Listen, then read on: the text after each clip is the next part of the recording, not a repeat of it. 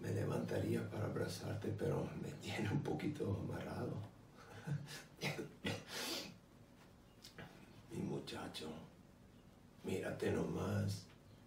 Ya eres todo un hombre. Todavía me acuerdo tu carita toda enojada cuando te ganaba en fútbol. ¿Te acuerdas? No estoy aquí para recordar. Tengo... Mi novio me está esperando. A casar. Sí. So if you could just cut to the chase.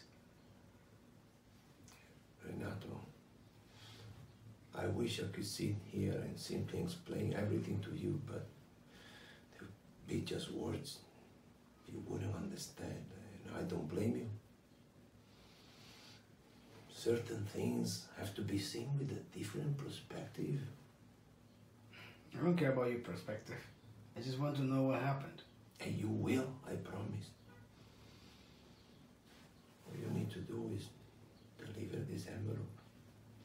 No, I'm not playing playing one of your games. If you don't want to just tell me, then I'll say my goodbye.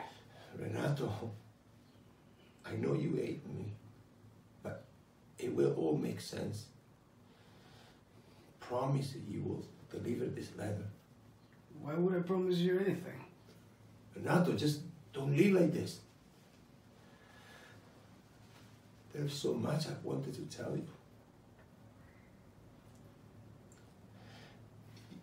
You are the love of my life, and I want you to know that I never abandoned you in my heart. Well, it's a little too late for that. Goodbye, Flavio.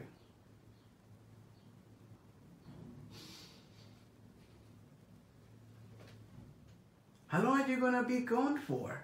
Are you gonna miss my birthday? Look at me, mijo. I promise I'll be back for your birthday. And when a man makes a promise, he keeps it, no matter what, right? And guess what? What? When I'm back from America, we're gonna have so much money. We're gonna buy our own airplane. Together we will fly to the coolest place on earth. Sumidero Canyon. Claro que sí.